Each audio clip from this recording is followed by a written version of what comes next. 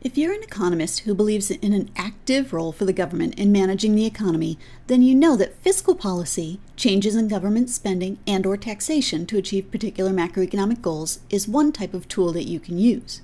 But did you know that you can stimulate or slow spending by increasing or decreasing the amount of money that's available? By definition, monetary policy is changes to the money supply in order to achieve particular macroeconomic goals.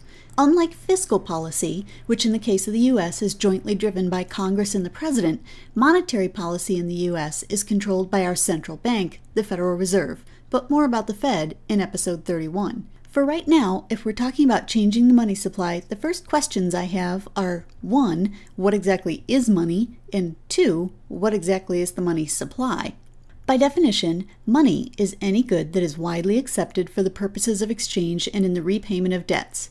Over the years, many items have been used as money. Coins and paper, yes, but also shells, furs, cigarettes. As long as the item is widely accepted for the purposes of exchange and in the repayment of debts, that item serves as money. To serve well as money, though, there are three basic functions of money that must be fulfilled. 1. Money serves as a medium of exchange. Without money, we would have to barter or trade and transactions become much more difficult. Oh, barter works fine when there's a double coincidence of wants. You have something I want, and I have something you want. But if we don't, transactions become much more complex. Okay, here's an example. You want to learn economics, and I can provide that service for you. I want someone to babysit, and that's a service you can provide for me. But what if a student wants to learn economics from me and offers me golf lessons in return? I have no interest in golf, so that student will have to find someone else to trade with, then come back and trade with me. If only we had money, something we would all accept for exchanges, how much easier this transaction would be. 2. The second function money needs to serve is as a unit of account, i.e., money gives us a common measurement in which values are expressed. For example, what if there is no money and you want to learn economics at this college? There are multiple instructors. What if one wants to be paid in babysitting, another in computer help, and another in pet sitting, and so on? It becomes very difficult to tell who has the best price. But if every instructor charges in the same item, the accepted money, it becomes very clear who has the lowest price. 3. The third function that money needs to serve is as a store of value. That is, money maintains its value over time.